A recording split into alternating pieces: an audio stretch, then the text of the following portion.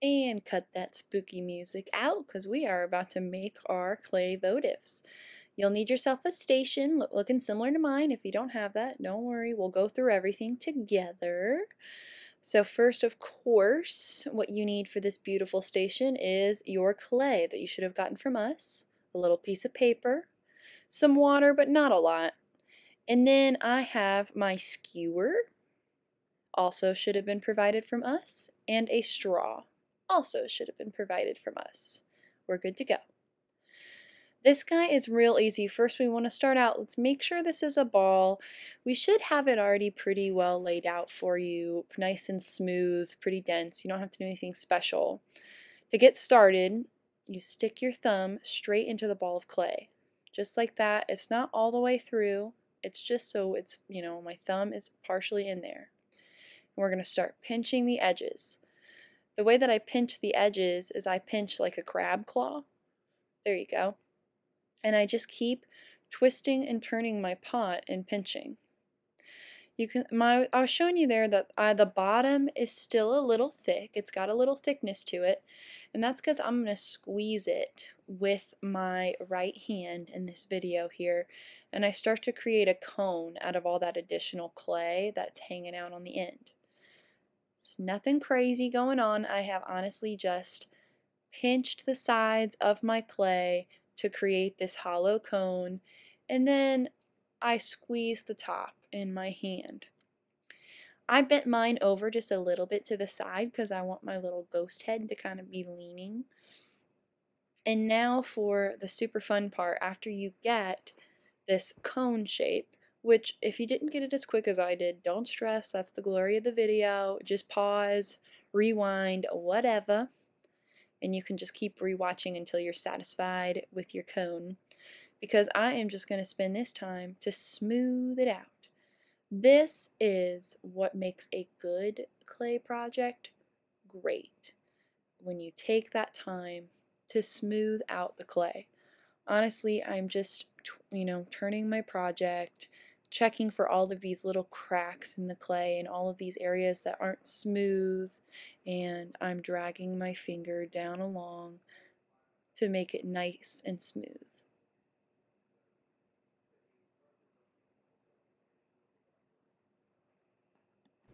I'm aware I tricked you a little when I said this is the fun part. For a lot, it can be quite boring, but I'm not lying to you. It is important. So look at me, directly in the eyeball, okay, when I tell you that you have got to do this part.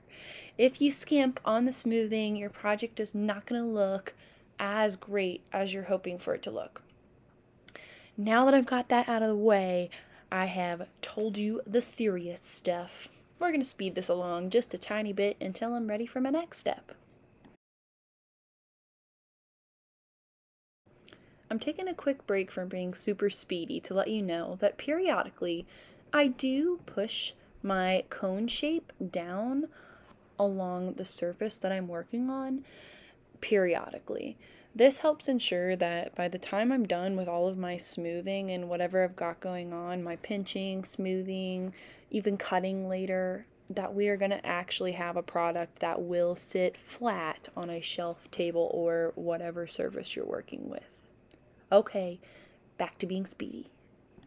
There are a couple of other things I do when smoothing. Sometimes when I can't get that clay to move in a specific spot, I use the back of my nail as opposed to the smooth part of my finger or thumb. That's just a little more aggressive and creates more of a scraping notion. I also periodically am checking the bottom rim and I sometimes smooth out the interior, although the inside doesn't matter as much. Okay, I'm feeling pretty good about this guy, and I think I'm ready. I like this side the best, so that's where I'm going to put my face. I'm going to slide my hand inside so that I have a nice little platform to work off of, and I'm going to gently start carving out a mouth. If you are timid about drawing a face, I like to just jump straight in.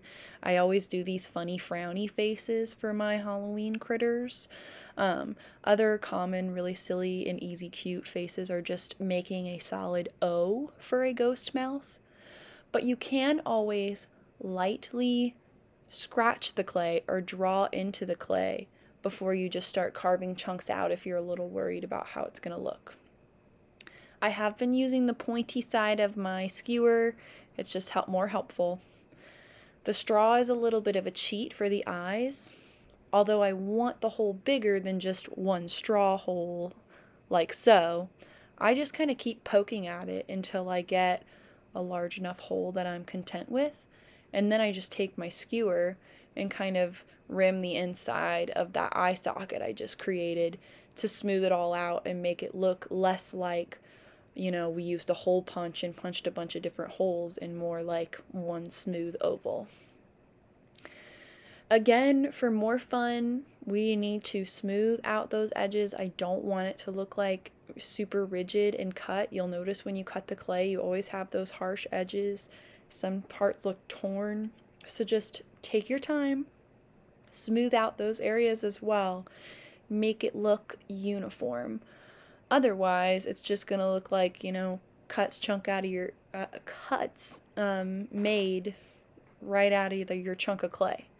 So, using your fingers and your thumbs to really smooth it out. The edge on the outside is obviously the most important, but I do like to get in there and smooth out the entirety of that thickness there.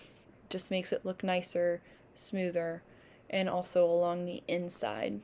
That way it's all one seamless area. My fingers were getting a little crusty. That's the only time I use water in this project ever. Because if I am putting little crusty chunks of clay all over that are like cracking off my fingers from smoothing out the clay, that's when you can just dip your fingers in the water and rub them together so that you can re-moisten all those little crickly cracks that land on your finger so they don't shed so much. There you go. You can see I'm smoothing it out on the inside too. I don't skimp. Okay. Our little ghosty is looking pretty spooky. I love him so much. Now, one thing that might surprise you is even though this clay is gray today, when we fire it in our kilns, it is going to be a nice, bright, sh shiny white. So your ghost will in fact be all finished and ready for pickup whenever you come get the rest of your items that you've dropped off from your basket. Awesome job, guys. Some final things to bring him back you will want to put your cute little ghosty back in his bag so that it doesn't get super, super dry too fast when you return him. And finally, use your skewer and write your dang name in there because we got to know who it belongs to. You wouldn't believe how many little ghosties we're going to have back. Okay. I can't wait to see all your ghosties. They'll be so spooky and fantastic.